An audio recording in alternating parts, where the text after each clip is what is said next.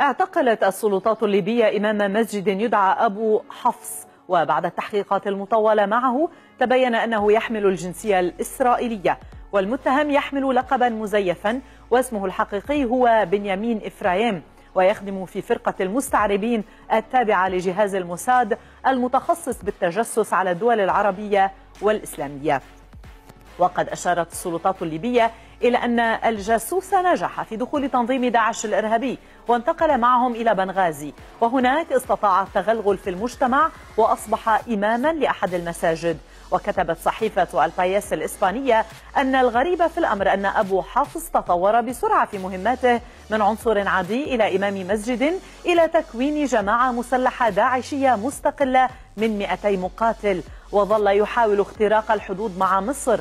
بل وكانت جماعة أبا حفص من الجماعات الأكثر دموية في ليبيا والتي هددت بنقل الحرب إلى الداخل المصري تحت شعار الحرب على مصر وتحريرها بحسب الصحيفة الإسبانية. اعتقد